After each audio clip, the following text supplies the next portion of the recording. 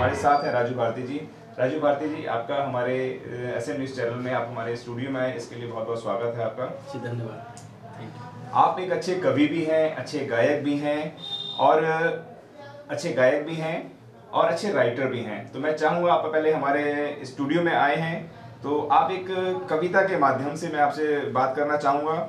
26 जनवरी को 26 जनवरी को संविधान दिवस क्यों मनाया जाता है, इस पे मैं आपसे बात करना चाहूँगा। जी, बहुत अच्छा है सब्जेक्ट है, क्योंकि हाल ही में जो है, सबसे पहले तो मैं एस एम न्यूज़ के पूरे परिवार को इस बहुजन आंदोलन में जो उनका पूरा परिवार इस बहुजन आंदोलन को बढ़ाने के लिए जो दिन रात एक करके पूरा परिवार, पूरे फैमिली के सारे सदस्य जो बहुजन आंदोलन को बढ़ाने के लिए मीडिया का सहारा बने हैं, जो मीडिया बना है तो बहुजन मीडिया के माध्यम से जो पूरे देश में जो है इस महापुरुषों के आंदोलन को आप लोग जनमानस तक पहुँचा रहे हैं। उसके लिए मैं एस एम न्यूज़ परिवार को पूरी परिवार को मैं एक कलमकार होने के नाते, एक मानवर शाह कांशीराम जी के आइडियोलॉजी के सिपाही होने के नाते, आदरणीय बहन कुमारी मायावती जी के कार्यकर्ता होने के नाते, आप सब लोगों को बहुजन समाज पार्टी की तरफ़ से और मध्य प्रदेश भोपाल की तरफ़ से आपको बहुत बहुत मंगल कामनाएँ करता हूँ कि आप इस तरह काम करते रहें ताकि हमारा बहुजन मीडिया बहुत ऊंचाइयों पर पहुँचे।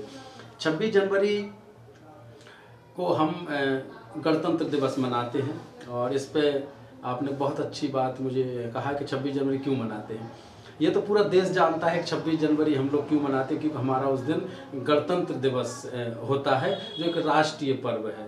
और बचपन में हम लोग भी 26 जनवरी 15 अगस्त जब आती थी तो मेरे पिताजी जो जे पी भारती जी, जो ललरिया ग्राम मेरा गाँव है, वहाँ पर जो जन कवि थे, गाँव के कवि थे, हमारे गाँव में बहुत अच्छे अच्छे शायर दो तीन हुए हैं, जिनमें खास करके हमारे जो करीम चाचा हैं और एक नस्तर करके नाकेदार साहब थे, एक जगन्नाथ प्रसाद भारती जो मेरे पिताजी थे, उनका मैं ज़िक्र करता हूँ कि उनसे मुझे बहुत प्रेरणा मिली है।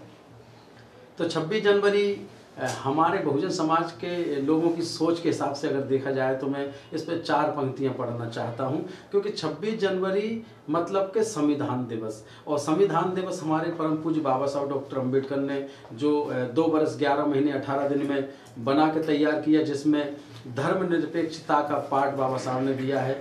पहले ही प्रस्तावना में इस देश को अखंड भारत बनाने का जो बाबा साहब ने एक बहुत सराहनीय प्रयास किया है इस देश को जोड़ने के लिए, इस देश को लोकतंत्र का सबसे बड़ा देश बनाने के लिए तो मैं कोटि कोटि में नमन करता हूँ परम पूज बाबा साहब डॉक्टर अंबेडकर को। और मैं ये बताना चाहता हूँ कि 26 जनवरी की वजह से हम लोग आज़ाद हुए हैं। भारतीय संविधान की बदौलत हम आज़ाद हुए हैं और हम किन किन मायनों में आज़ाद हुए हैं? 26 जनवरी हमारे लिए कितनी महत्वपूर्ण है? संविधान दिवस कितना महत्वपूर्ण है? इसको हम कविता के माध्यम से आप तक पहुँचा रहा हूँ।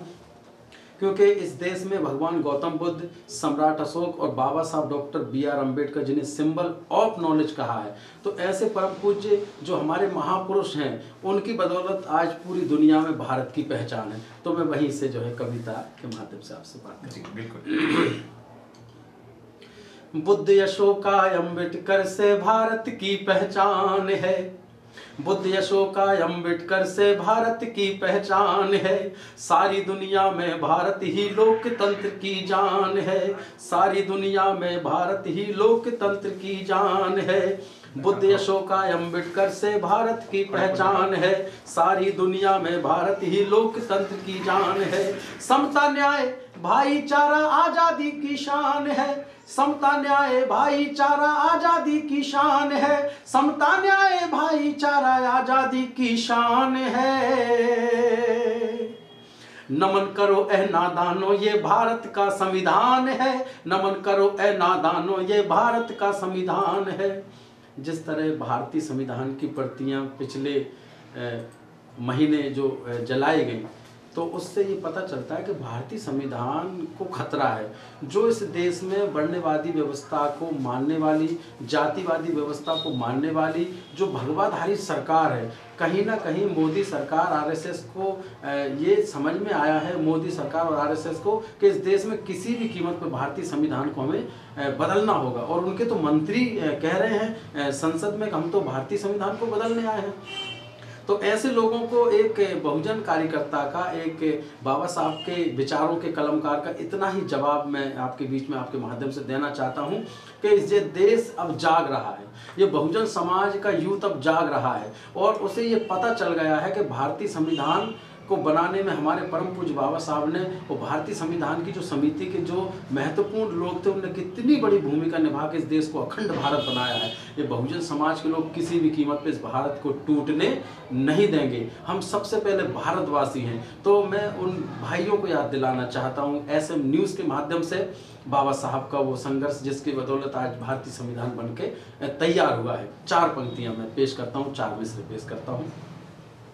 दो बरस और ग्यारह महीने, अठारह दिन जो जागा था। दो बरस और ग्यारह महीने, अठारह दिन जो जागा था। बच्चों की कुर्बानी दे दी, सुख सुविधा को त्यागा था। बच्चों की कुर्बानी दे दी, सुख सुविधा को त्यागा था। जाति बात का कहर देश में संविधान ही रोकेगा। जाति बात का कहर देश में संविधान ही रोकेगा। देशद्रोही वो होगा जो लोकतंत्र पे भोंकेगा। देशद्रोही वो होगा जो लोकतंत्र पे भोंकेगा। दीन दुखी लाचार चारों का मेरा भीम ही भगवान है। नमन करो ए नादानो, ये भारत का संविधान है। नमन करो ए नादानो, ये भारत का संविधान है। 26 जनवरी 1950 से भारतीय संविधान लागू हुआ।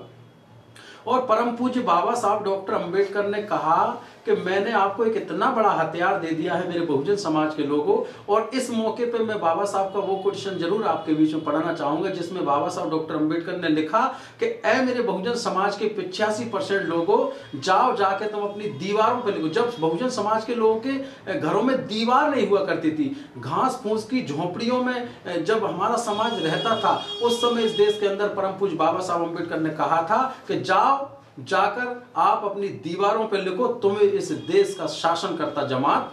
बनना है। तो मैं 26 जनवरी के मायने मैं आपको क्यों बता रहा हूँ कि उस दिन संविधान लागू हुआ? तो मैं संविधान में जो वोट का अधिकार है, खास करके जिससे राजा बना सकते हैं, पहले राजा रानी के पेट से पैदा होता था। बाबा साहब डॉक्टर अंबेडकर का 26 जनवरी 1950 को संविधान को लागू करना, इस देश में, इस देश की सारी रानियों की पेट की नसबंदी करके बाबा साहब डॉक्टर अंबेडकर ने जो है, उनकी नसबंदी करके ये बता दिया है कि अब इस देश में राजा तो पैदा होगा, लेकिन वो किसी रानी के पेट से नहीं, वो बोट की मत की पेटी से जो है राजा पैदा होगा, और वो कोई भी गरीब का बेटा भी राजा बन सकता है। ऐसा नहीं है कि बड़े बड़े छत्री समाज में जन्मे लोगों के घर में ही राजा पैदा होगा तो बाबा साहब ने राजतंत्र को खत्म करने के लिए, लोकतंत्र को स्थापित करने के लिए, भारत को लोकतंत्र का सबसे बड़ा देश बनाने के लिए भारत का संविधान लिखा है।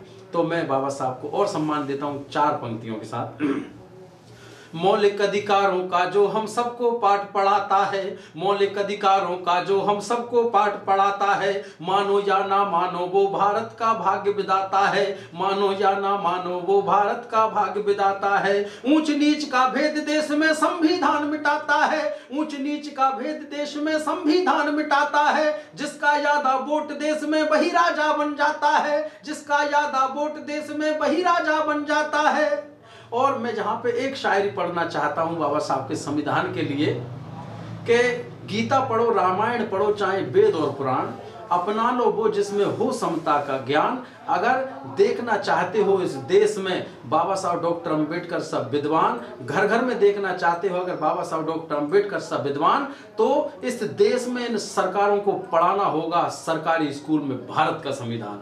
क्यों? कि इस देश में ईसा मसीह साहब का फरमान, ईसा मसीह साहब का जो पैगाम है, वो बाइबल से चलता है। इस देश में हज़रत मोहम्मद पैगंबर सल्लल्लाहु अलैहि वसल्लम साहब का जो पैगाम है, वो कुरान से चलता है। इस देश का हिंदू गीता रामायण वेद और पुराण से चलता है, लेकिन पूरे भारत का कानून मेरे बाबा साहब डॉक्टर अंबेडकर के संविधान से चलता है।